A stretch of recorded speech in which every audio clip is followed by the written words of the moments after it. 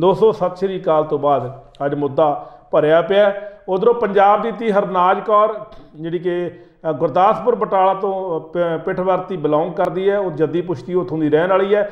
ਪਰ ਅੱਜ ਕੱਲ੍ਹ ਇਹ ਪੂਰਾ ਪਰਿਵਾਰ ਚੰਡੀਗੜ੍ਹ ਦੇ ਵਿੱਚ ਮੋਹਾਲੀ ਖਰੜ ਦੇ ਵਿੱਚ ਹੀ ਰਹਿੰਦਾ ਔਰ ਹਰਨਾਜ ਕੌਰ ਨੂੰ ਮਿਸ ਯੂਨੀਵਰਸ ਬਣਦੀਆਂ ਸਾਡੇ ਅਦਾਰੇ ਵੱਲੋਂ ਲੱਖ ਲੱਖ ਮੁਬਾਰਕਾਂ ਔਰ ਪ੍ਰਮਾਤਮਾ ਕਰੇ ਬੇਟੀ ਦਿਨ ਦੁੱਗਣੀ।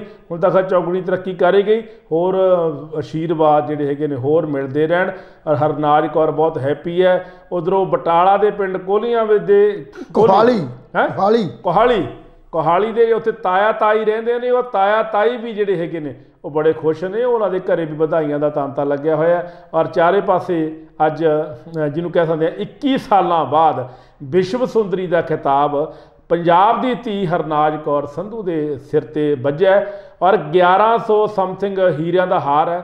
47 ਕਰੋੜ ਰੁਪਏ ਦੀ ਕੀਮਤ ਹੈ ਜਿਹੜਾ ਕਿ ਸਿਰ ਦੇ ਉੱਪਰ ਜਿਹੜਾ ਤਾਜ ਜਿਹੜਾ ਹੈ ਉਹ ਮਿਸ ਯੂਨੀਵਰਸ ਬਣ ਕੇ ਪਾਇਆ ਗਿਆ ਲੈਲ ਸਾਹਿਬ ਤੁਹਾਡੇ ਵੱਲੋਂ ਵੀ ਤੁਹਾਡੇ ਪਿੰਡਾਂ ਦੀ ਕੁੜੀ ਹੈ ਔਰ ਮੈਂ ਕਹੂੰਗਾ ਮੇਰੇ। ਮੈਂ ਕਹੂੰਗਾ ਮੇਰੇ ਪਿੰਡਾਂ ਦੀ ਕੁੜੀ ਹੈ ਤੇ ਸਾਰੇ ਪੰਜਾਬ ਦੀ ਕੁੜੀ ਹੈ ਧੀ ਹੈ। ਸਾਹਿਬ ਗੱਲ ਤੇ ਆ ਵੀ ਇਹ ਪੰਜਾਬ ਦੀ ਧੀ ਹੈ। ਜੀ। ਪੰਜਾਬ ਦੀ ਧੀ ਦੇ ਨਾਲ ਨਾਲ ਇਹ ਜਿਹੜੀ ਸਾਡੀ ਜ਼ਿਲ੍ਹਾ ਗੁਰਦਾਸਪੁਰ ਜਿਹੜਾ ਬਟਾਲੇ ਤੋਂ ਜਦੋਂ ਹਰਗੋਬਿੰਦਪੁਰ ਸਾਹਿਬ ਨੂੰ ਜਾਈਦਾ ਹੈ ਤੇ ਤੰਦੋਈ ਤੋਂ ਅੱਗੇ ਪਿੰਡ ਕੋਹਾਲੀ ਆ ਸੱਜੇ ਹੱਥ ਪੈਂਦਾ। ਛੋਟਾ ਜਿਹਾ ਪਿੰਡ ਹੈ। ਮੇਰੀ ਉੱਥੇ ਰਿਸ਼ਤੇਦਾਰੀ ਆ ਅੱਛਾ।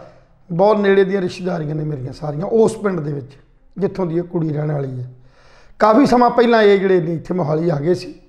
ਸੋ ਇਹ ਸੰਧੂਆਂ ਦਾ ਪਰਿਵਾਰ ਬਹੁਤ ਵਧੀਆ ਪਰਿਵਾਰ ਹੈ ਸੋ ਇਹਨਾਂ ਦੀ ਧੀ ਨੇ ਜਿੱਥੇ ਆਪਣੇ ਪਿੰਡ ਦਾ ਜਿਹੜਾ ਨਾਮ ਰੋਸ਼ਨ ਕੀਤਾ ਉਹਦੇ ਨਾਲ ਪੰਜਾਬ ਦਾ ਤੇ ਹਿੰਦੁਸਤਾਨ ਦਾ ਨਾਮ ਜਿਹੜਾ ਰੋਸ਼ਨ ਕੀਤਾ। ਸੋ ਇਸ ਲਈ ਸਾਰੀ ਮਤਲਬ ਭਾਰਤ ਦੀ ਇਹ ਉਹਨੂੰ ਆਪਾਂ ਕਹਿ ਸਕਦੇ ਹਾਂ ਜਿੱਤ। ਹੋਈ ਹੈ। ਜਿੱਤ ਹੋਈ ਹੈ। ਔਰ ਕਿਸੇ ਵੀ ਫੀਲਡ ਦੇ ਵਿੱਚ ਜਦੋਂ ਕੋਈ ਬੱਚਾ ਜਾਂਦਾ ਤੇ ਜਿੱਤ ਪ੍ਰਾਪਤ ਕਰਕੇ ਆਉਂਦਾ ਤੇ ਉਹਦੇ ਮਾਪੇ ਨੂੰ ਜਿੱਥੇ ਬਹੁਤ ਵੱਡੀ ਜਿਹੜੀ ਖੁਸ਼ੀ ਹੁੰਦੀ ਹੈ ਉਹਨੂੰ ਚਾਅ ਚੜਦਾ ਉਹਦੇ ਨਾਲ ਨਾਲ ਉਹਦੇ ਰਿਸ਼ਤੇਦਾਰਾਂ ਭੈਣ ਭਰਾਵਾਂ ਸਮਾਜ ਆਲਾ ਦੁਆਲਾ ਦੇਸ਼ ਤੇ ਸੂਬੇ ਨੂੰ ਵੀ ਬਹੁਤ ਵੱਡਾ ਮਾਣ ਹੁੰਦਾ। ਸੋ ਇਹਨੇ ਇਸ ਖਿਤਾਬ ਨੂੰ ਲੈ ਕੇ ਸਭਨਾਂ ਹੀ ਉਹਨਾਂ ਧੀਆਂ ਦਾ, ਕੁੜੀਆਂ ਦਾ ਤੇ ਮਾਪਿਆਂ ਦਾ ਤੇ ਸਮਾਜ ਦਾ ਜਿਹੜਾ ਨਾਂ ਉੱਚਾ ਕੀਤਾ। ਸੋ ਸਾਡੇ ਵੱਲੋਂ ਬਹੁਤ ਬਹੁਤ ਉਸ ਧੀ ਨੂੰ ਤੇ ਉਹਦੇ ਮਾਪਿਆਂ ਨੂੰ ਤੇ ਸਾਰੇ ਪਿੰਡ ਕੋਹਾਲੀ ਦੇ ਨਿਵਾਸੀਆਂ ਨੂੰ ਬਹੁਤ ਬਹੁਤ ਮੁਬਾਰਕਾਂ।